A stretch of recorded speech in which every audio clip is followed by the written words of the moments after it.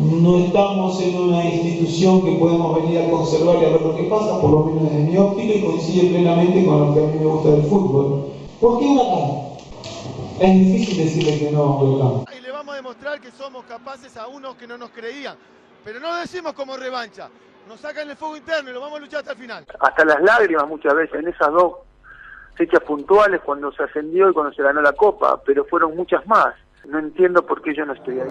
Salir campeón, clasificar a Copa, salir campeón del mundo, como cualquier entrenador. Pero, insisto en la palabra anterior, ser feliz y disfrutar del recorrido. En este caso, la cambia esa posibilidad. Pero eso decir, pero del primer minuto ya está insultando, flaco. Nadie le escapa a todo esto. No, no, no nos miremos por otro lado y nos saquemos el poncho. Porque a mi cabeza también la ponen en la plaza para que la pateen, ¿eh?